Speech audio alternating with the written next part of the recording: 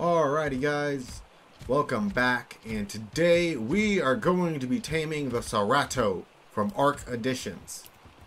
Now, the Cerato does have a bit of an interesting taming method, so first off, you're going to have to find yourself a Ceratosaurus. Now, you can easily find you one by just heading to any plains biome or jungle biome. I'm here on Ragnarok, and I have found a couple of them in the area around Green Obel the Green Obelisk. They're not hard to find around here. And on the island, um, yeah, about around the Green Obelisk again. It's just the open plains area. But what you're going to want to do is you're going to want to go hunt down a couple of them, and you're going to want to get some Ceratus, Cerato Venom Spines.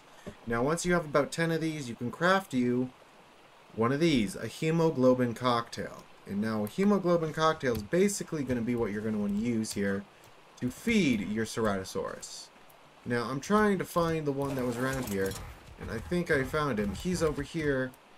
Yep, we're going to go find a different one because he's messing with the Dinotherium. Alrighty now, I got me a Cerato over here, and I've already given my Moss Moschop a hemoglobin cocktail. So the way you're going to have to do this is, yes, you are going to have to sacrifice a creature like a sow. So you'll just leave it there. He'll come up, stop munching on it like a so. Make sure you do have them whistle passive so that way they don't run from it.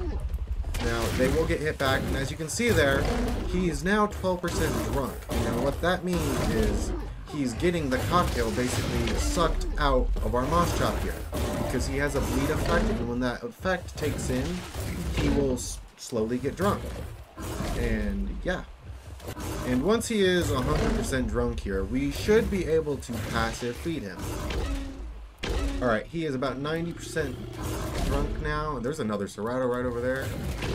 This could go bad. He's 100% drunk. Now that you have this pink effect around him as well, you can walk up, give him prime meat, and as you can see there, on about five times taming on a 35 there, it's about 29%.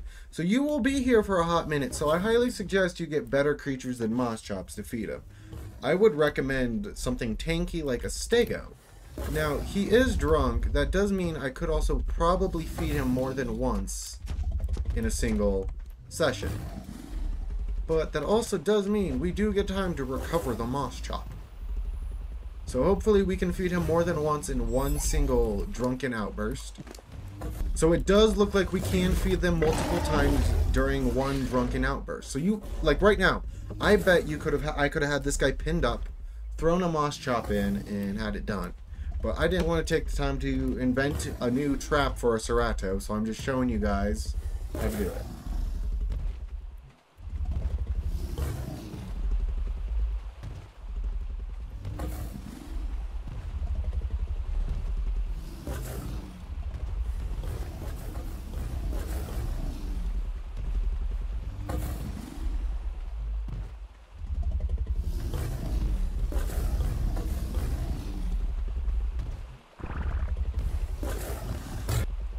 Guys, so I just fed him for the third time. He's still in the same drunken stupor. I have not had to break out another Moschop.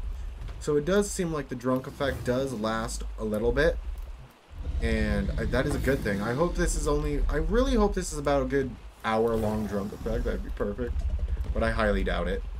Alrighty guys, final feed. Boom.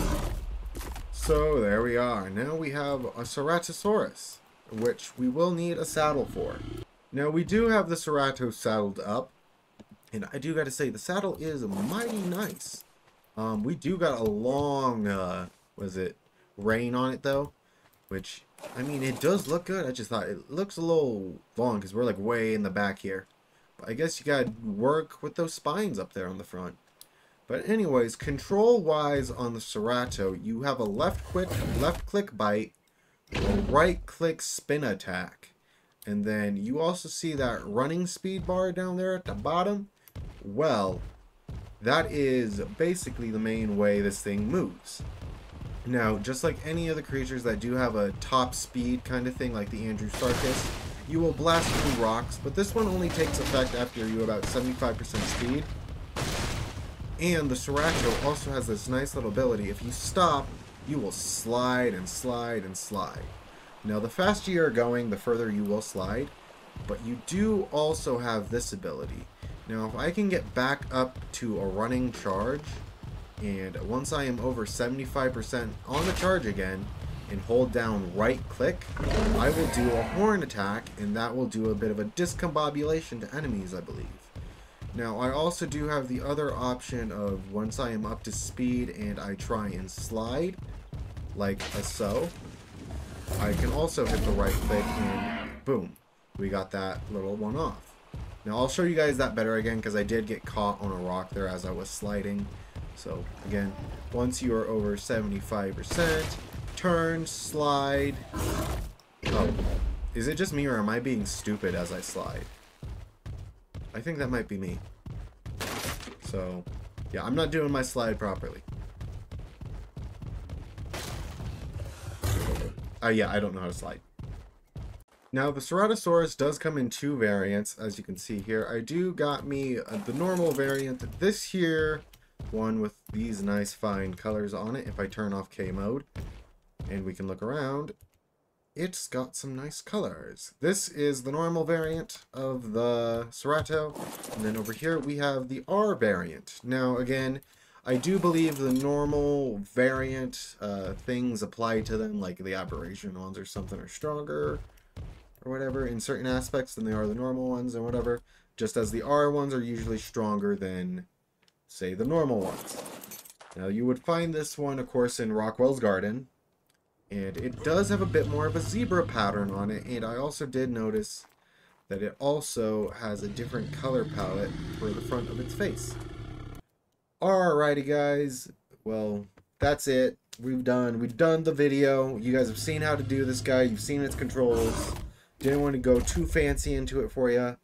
But anyways, that's going to be it for the video. Now, I do want to say one more thing.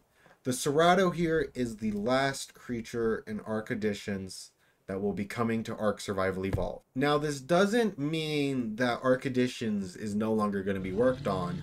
It means that the branch of the mod for Ark Survival Evolved is no longer being worked on.